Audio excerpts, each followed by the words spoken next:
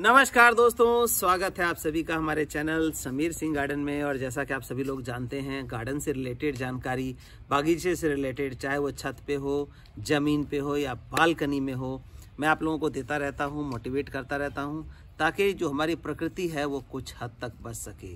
वो कैसे बचे?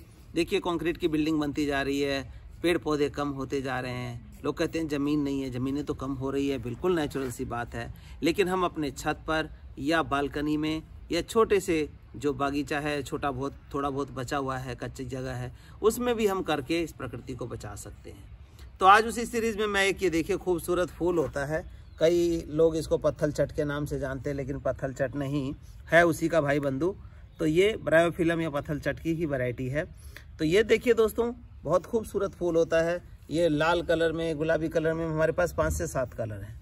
और आपके पास भी होंगे लेकिन क्या होता है, अक्सर लेकर के आते हैं और ये अब जैसे बरसातें आएँगी, ख़त्म हो जाएगा। अगली बार फिर ढूंढते फिरेंगे, वो कलर, वो मन चाह जो डबल सिंगल वाला है, वो नहीं मिलेगा। खूब गुच्छे वाला फूल नहीं मिलेगा आपको।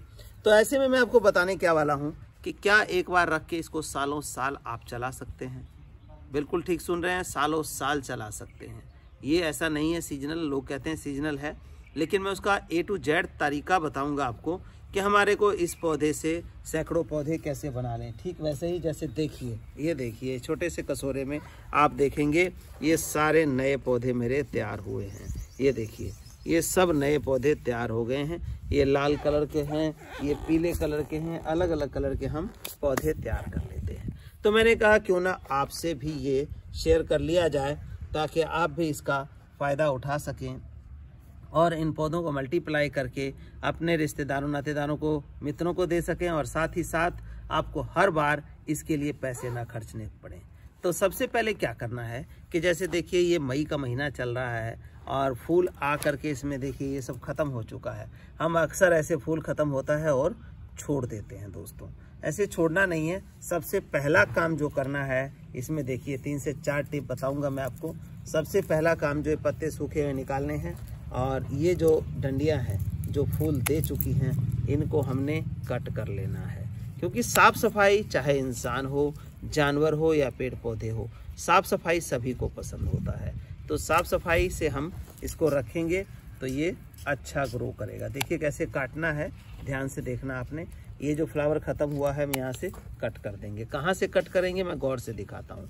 ये देखिए, ये कट करने का जो तरीका है, ये यहाँ से। यहाँ दिखा नहीं क्लियर आई होप तो मैं दिखाता हूँ।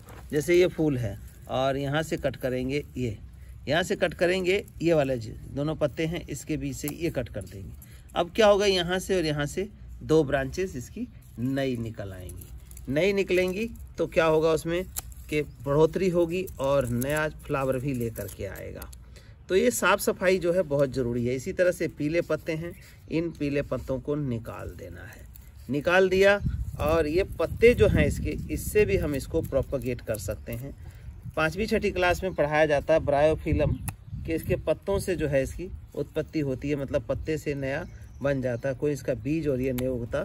टहनी के साथ साथ इसके पत्तों से भी हम पौधा उगा सकते हैं। ये देखिए, इसका जीता जागता एग्ज़ाम्पल है। ये देखिए, ये सारे जो पत्ते सूखे थे, इसको हमने क्या किया है कि इसके अंदर लगा दिया है। और मैं आपको दिखाऊँ ये पानी में डाल के दिखा दूँ। ये देखिए, उखाड़ा है हमने।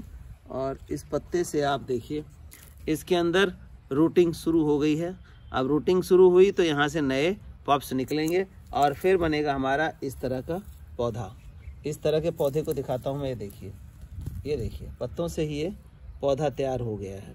तो इस तरह करके आप रख सकते हैं। अब इसको लगाने का तरीका क्या है, वो भी मैं आपके साथ शेयर करने वाला हूँ। तो कुछ भी इसका वेस्ट नहीं है। अब हमें अगर फ्लावरिंग कंटिन्यू चाहिए तो ये आपको बता दूँ, कम पानी वाला पौधा है। कहने का मतलब एक तरह का ये डेजर्ट प्लांट होता है और इसको बहुत ज़्यादा पानी नहीं चाहिए, मिट्टी चिकनी नहीं चाहिए, नहीं तो उसमें ये मर जाता है आपका। अक्सर लोग कहते हैं कि मर जाता है, लेकिन मरता नहीं है।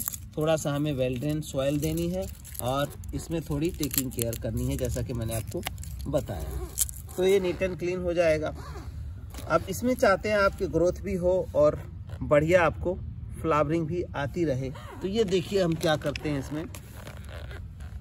ये दो से तीन महीने में ये फ्लावर फ़ूड ये हमारा flower food seasonal flower food ये दो से तीन महीने में एक बार डाल देंगे। अब जैसे ये गमला छः इंची का गमला है तो छः इंची के गमले में कितना डालेंगे, ये बात रहती है। और कितने टाइम इंटरवल पे हम अक्सर गलती क्या करते हैं? गलती यही करते हैं कि एक जगह से नहीं नॉलेज लेते, कई जगह की नॉलेज होती है। और उसको हम हर बड़े शौक से कहते हैं, बड़े मतलब गर्वित महसूस करके कहते हैं। गर्व से कहते हैं कि हम हर हफ़्ते में खाद डाल रहे हैं, फिर भी फ्लावर नहीं आ रहा, पत्ते जल रहे हैं। उसका रीज़न क्या होता है? हर हफ़्ते में, हर पंद्रह दिन में, हर महीने में खाद नहीं डालना। इनको दो से तीन महीने में एक बार खाद की आवश्यकता होती है, और वो भी बहुत थोड़ी मात्रा में होती है। ये देखिए, इसको ऐसे खोदेंगे हम। ऐसे, ये देखिए। जड़ें भी किसकी कमी होती हैं, इसको इस तरह से खोद के, और ये खाद जो है हम, ज़्यादा नहीं, एक से दो मुट्ठी खाद हम इसके अंदर डाल के और दबा देंगे, देखिए। मिट्टी से ढक देंगे। ये डाला हमने, ये दूसरा डाला। इसको हमने मिट्टी से ढक देना है। पानी डालना है और रखना पूरे सनलाइट में ही है, छाँव में नहीं रखना है। तो ये आपका बिल्कुल सही रहेगा। सॉयल वेल ड्रेन होनी चाहिए। मैं मिट्टी की भी जानकारी दूँगा, लगाने का भी पूरा विधि बताता हूँ। तो आप बने रहे हमारे साथ, ताकि ये क्लेंचो, इसका नाम है क्लेंचो। जैसे बराय फ़िल्म नहीं, नाम इसका पत्थर चट नहीं, इसका नाम कलेंचो नाम दिया गया है।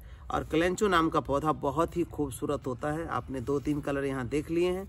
मेरे पास पाँच से छः कलर हैं, और इनको मैं सबको बचा लूँगा। जैसे इतने पौधे तैयार किए हैं, ये देखिए, ये सारे तैयार हो रहे हैं हमारे। इसी तरह से इनके भी पत्ते तैयार से पौधे कैसे तैयार करने हैं, आइए जानते हैं। तो दोस्तों, जैसे मैंने बताया कि इनकी कटिंग लगानी है, पत्तों से लगाना है, टहनी से लगानी है, दोनों ही विधि मैं आपको बताने जा रहा हूँ। उसके लिए सबसे पहले क्या करना है, एक मिट्टी का जो इस तरह का ट्रे, कसोरा लेना है।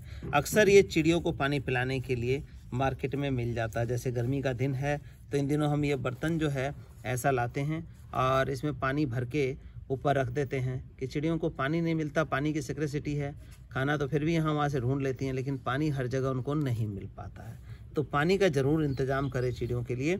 तो वो कसोरा जो है लेंगे, उसमें हमने सिंपल नदी की रेत, यानी कि जमुना सैंड बोलते हैं। यहाँ पे जमुना नदी की होती है, कहीं गंगा की होती है गंगा सैंड बोलेंगे। रिवर सैंड कह लें आप कॉमन नाम है इसका रिवर सैंड।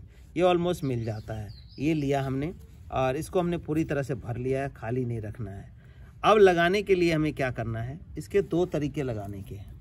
देखिए, एक तो पहला तरीका ये है, ये देखिए। ये इस तरह की जो टहनियाँ है, इसको हम कट कर लेंगे, ये देखिए। और यहाँ से फिर जो हमने खाद दे दिया है, उसमें से सैकड़ों फुटाव आ जाएँगे दोस्तों। तो ये इस तरह से हमने इसकी टहनियाँ कट कर ली। एक तरीका तो देखिए आपका ये हो गया।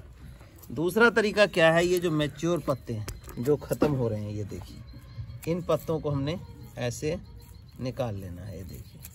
और भाई आने की बात तो ये देखिए, ये नए जो फुटाव हैं, इनके ब्रांचेस जो हैं, वो नए कंटिन्यूस निकल रहे हैं। तो ये पत्ता और ये दोनों चीज़ें हम इसका इस्तेमाल हम पौधा बनाने के लिए कर सकते हैं। अब करना कैसे है, देखने की बात है।